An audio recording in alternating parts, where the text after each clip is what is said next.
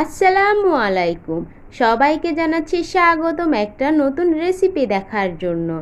আজকে আমি আপনাদেরকে তৈরি করে দেখাবো চিকেন কর্ন স্যুপ।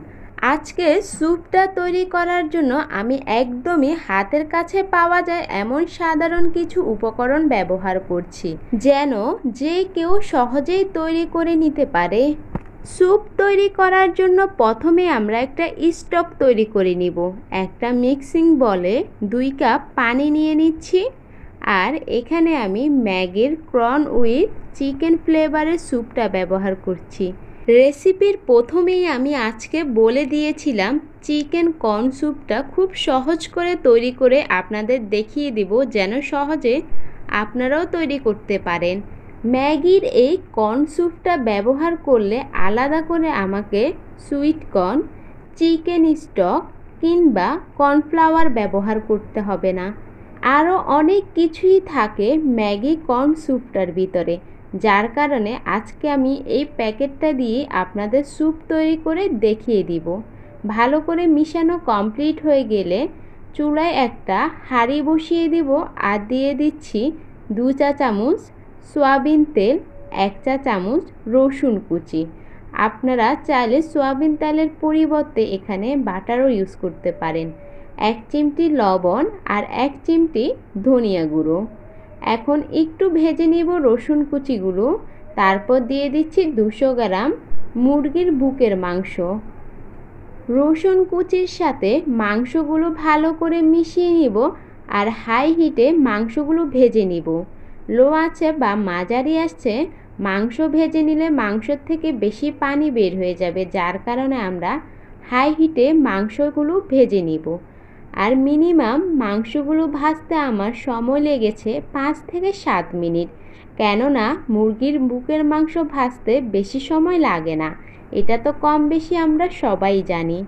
আর এখন আগে থেকে তৈরি করে রাখা ম্যাগির কর্ন স্যুপটা নিচের থেকে একটু নাড়িয়ে নেব যেন তলায় লেগে না থাকে।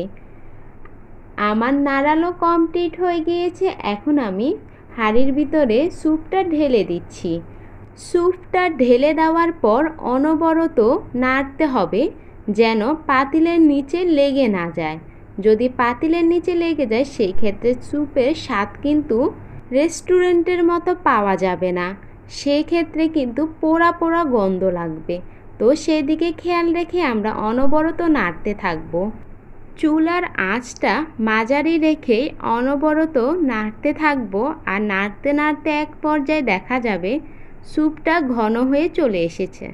আর আমার স্যুপটা রান্না করতে সময় নিয়েছে সাত থেকে আট মিনিট। এই তো স্যুপটা আস্তে আস্তে ঘন হয়ে এসেছে। আর আমার স্যুপটা অলমোস্ট রেডি। কিন্তু নামানোর আগে আমি এর ভিতরে দিয়ে দিব কাঁচামরিচ। ফ্লেভারটা ভালো আসে আর স্যুপের ভিতরে একটু ঝাল ঝাল লাগে।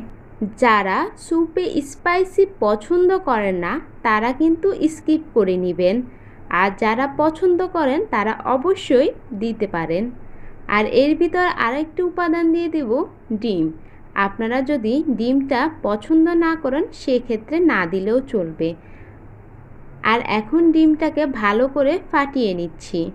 ফাটানো কমপ্লিট হয়ে গিয়েছে, একটু একটু করে সুপে দিয়ে অনবরত নাড়তে হবে। আর যদি একসাথে দিয়ে দেন, সেক্ষেত্রে কিন্তু দলা পেকে যাবে। আপনারা তো ভিডিওতে দেখেই বুঝতে পারছেন আমি কীভাবে দিচ্ছি।